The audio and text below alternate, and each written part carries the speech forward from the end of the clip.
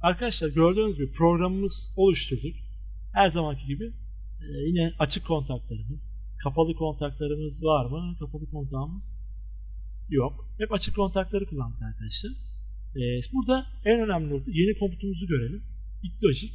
Gördüğünüz gibi e, şurada set reset ve reset set var. Buradan siz her zamanki gibi bunu şu şekilde tutup şöyle atabiliyorsunuz.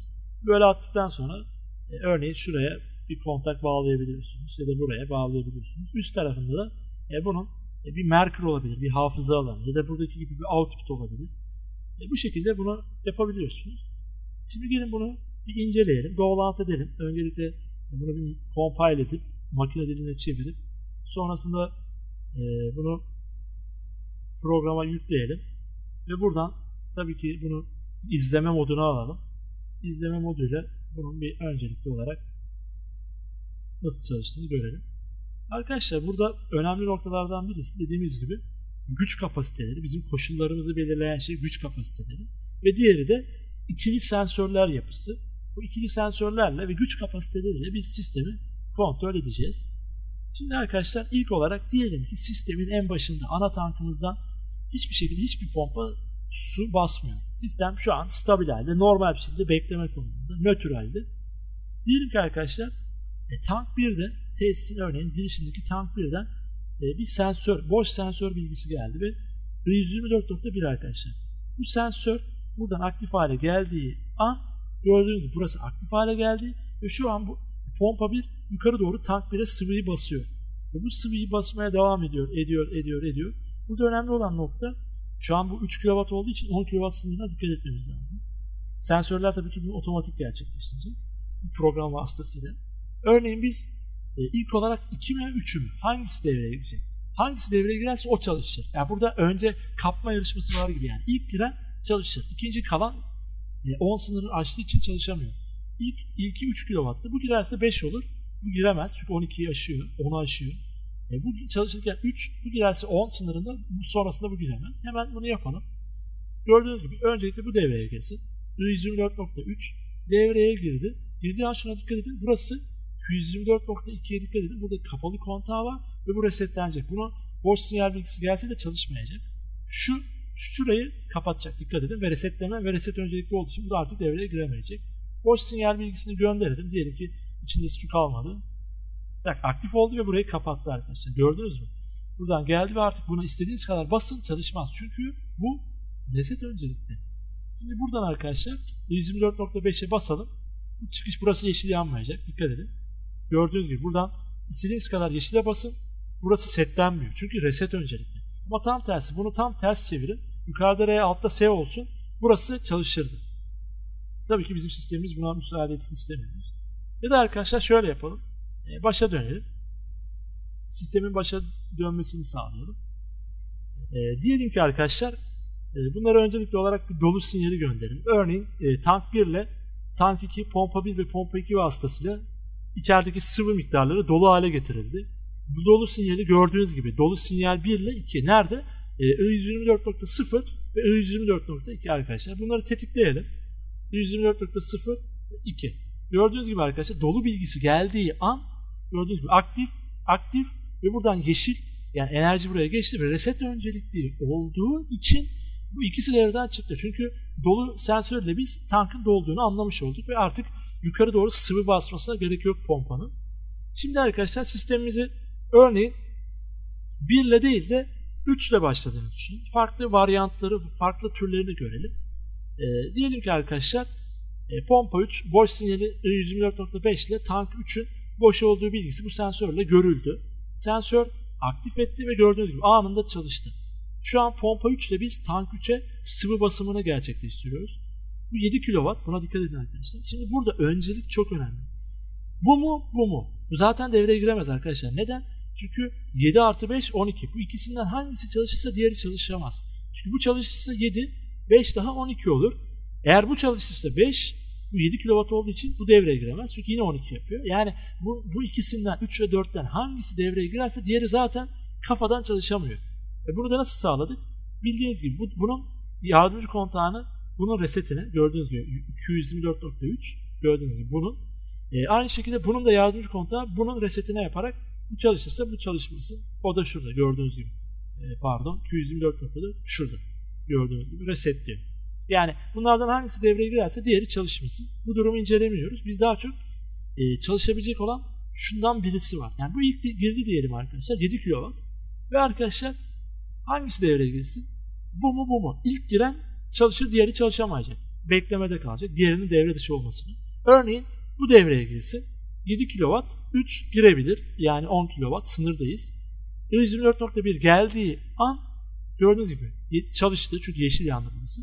3 artı 7 10 çalışıyor. Ama bu giremez. Neden? Çünkü 10 sınırını aşıyor. Biz bunun çalışmasını istemiyoruz. 10 sınırında çalışmasını istiyoruz. 10 kW. Bunu da nasıl sağlıyoruz? Gördüğünüz gibi. E, her birinin bu üçünün özellikle resetlerine gördüğünüz gibi ikili ikili ikili şekilde birbirlerinin kontaklarını koyuyoruz. Örneğin buna bu ikisinin kontaklarını koyduk. Gördüğünüz gibi bunun ve bunun kontakları nedir? Q124.2 ile Q124.3. Gördüğünüz gibi burada. Q124.2 224.3 şekle dikkat edin. Bunlar yardımcı kontak ve resete geldi. Yani bunun resetini. Aynı şekilde örneğin bununla bu çalışırken bu çalışmaması için bunun resetine bak şuraya bununla bunun yardımcı kontaklarını gördüğünüz gibi buraya koydum. E bunun yardımcı kontağı nedir? Kendisi yani 224.1 burada. Ve bunun yardımcı kontağı nedir? 224.3 yine kendisi burada. 224.3. Yani bununla bu çalışırken de bu çalışmasın diye buraya koydum. Aynı şekilde 3'te de öyle. Örneğin 3, e, örneğin 1 ile 2 çalışırken 3 çalışmasın istiyor çünkü 10 sınırını aşıyoruz. Gördüğünüz gibi 224.1, 224.2, 224.3'ün resetinde olacak. Bakalım gördüğünüz gibi 224.1 ve 2. Yani bunlar devreye girerse bu çalışmasın. E, ya da bunlar devreye girerse bu çalışmasın. Ya da bununla bu girerse bu çalışmasın. Bu mantaliteyle örneğin 3 devreye girdi arkadaşlar. Sonrasında bu boş sinyal bilgisi bu devreye girdi. Diyelim ki bu da üçüncü olarak girmek istiyor. Boş sinyal bilgisi geldi ama giremez. Çünkü bak burada resetlendi. Basalım. Gördüğünüz gibi arkadaşlar burayı burası aktif hale geliyor sürekli. Aç, aç kafa yaparak ama setlenmiyor. Neden? Çünkü burası reset öncelikli. Reset öncelikli olması ne demek? İki tarafta örneğin buradan aktif bilgisi geldi, buradan da aktif bilgisi geldi. Yani iki tarafta on konumunda, on konumunda. Yani kontaklar kapalı, kapalı. Buradan aktif bilgisi geçiyor. Ancak ikisi de geçtiği için bunda reset öncelikli olduğu için üstteki değil alttaki geçerli. Yani reset yani bu çalışması. Bu şekilde arkadaşlar sistemi gördük. Bir de en son noktasını görelim. Bunlara örneğin dolu bilgisi gönderelim. Devre dışı bırakalım. Devre dışı bıraktık. Şimdi arkadaşlar diyelim ki 3 e, devreye girince 4 girememişti. Bir de 4'ü deneyelim. Örneğin I124.7 124.7'ye bastığımız an bu devreye girdi ve bu devreye girdiği gibi bunu kapatır hemen. Niye? 5 artı 7 12 kilo. Bizim sınırımızı aşıyor. 224.4'ün yardımcı kontağı nerede? Dikkat edin. Şurada. Yani bu ne demek oluyor? Bu çalışırken yardımcı kontağıyla şuraya yani 224.3'ün e, resetine. Siz istediğiniz kadar buna basın. Gördüğünüz gibi çalışmıyor. Çünkü set veriyorsunuz. Buradan da set geliyor. Ama bu reset öncelikli olduğu için bu set reset diyor. Çünkü R sağda, R1 altta. 1 olduğu için reset öncelikli. İkisinden de aktif bilgisi geldiği halde reset öncelikli olduğu için arkadaşlar bu resette kalır. Yani off konumunda. Yani çalışmayacak.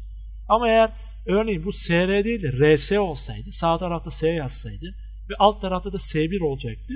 O zaman ne olurdu? İkisinden de bilgi gelirse alt tarafta set olduğu için set öncelikli olduğu için bu aktif olur. Yani bu çıkışı çalışırdı. Bu şekilde arkadaşlar sistemimizi gerçekleştirdik. E, set Reset'in çok güzel bir uygulamasını gördük. Ana, ana bir depo tankımız ve ona bağlı e, boru hatlarıyla 4 tane tankı sıvı, sıvıları pompa ile aktardığımız. Tabii ki burada iki önemli koşullar silsilesi var. Birisi sensörlerin e, durumu ve ikincisi de güç kapasiteleri. E, bunlara göre güzel bir uygulama oldu. E, umarım sizin için yüksek katma değer sağlamıştır. Set Reset'i çok iyi şekilde anladığınızı umuyorum. Takıldığınız noktalar olursa bunları soru cevap kısmından sorun öğrenmeden geçmeyin. Her e, özellikle her e, soruyu, uygulamayı, e, komutları iyi anlamaya çalışın.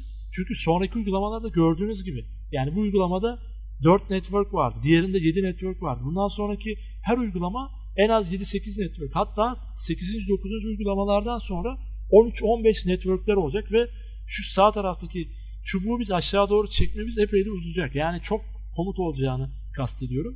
E, Birçok komut olacağı için anlamak daha da zorlaşacak. Bundan dolayı e, özellikle her uygulamayı iyi bir şekilde anlayarak geçin. Eğer geçmezseniz sonraki süreçte e, çok daha kompleks olduğu için daha da zor olacaktır anlamanız. Yani bunları anlamakta zorlanırsanız onları çok çok daha zorlanırsınız. Ondan dolayı her türlü soruyu saçma bile olsa her türlü soruyu sorun. Yani önemli olan sizin öğrenmeniz burada. Ondan dolayı sorularınızı bekliyorum. Bir sonraki uygulamada görüşmek üzere.